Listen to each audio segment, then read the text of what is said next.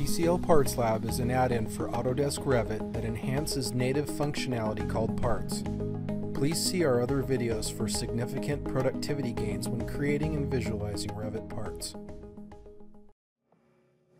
We've added a few new features to PartsLab to help us understand what objects belong to which linked models, and another feature that will help you understand which types in the main tree do not yet have parts. So if you've made a bunch of parts but you're wondering uh, what objects still don't yet have parts, we've added some new filters to help that.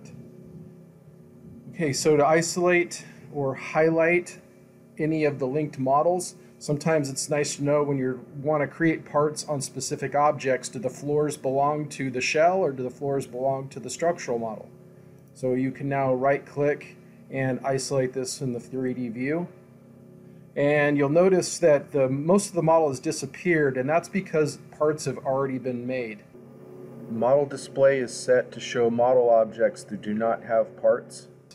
So if you change that to show original, it turns off the parts so that the original objects from that model can be seen. And so this will help you understand if parts have been created or what objects belong to that model. If we isolate the structural model, again, model display only shows objects that do not have parts. So we can see this floor does not contain or has not had a part made. If we click show original, that shows the entire model. So it really helps you understand what objects belong to which model.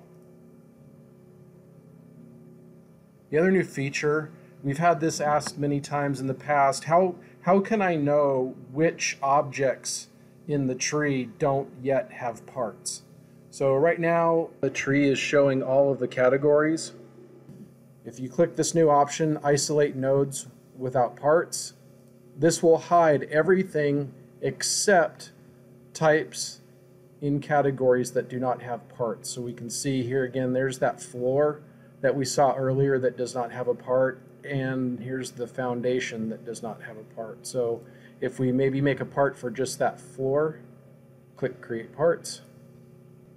One part was created, and you can see that, that uh, the floors have been removed from the tree.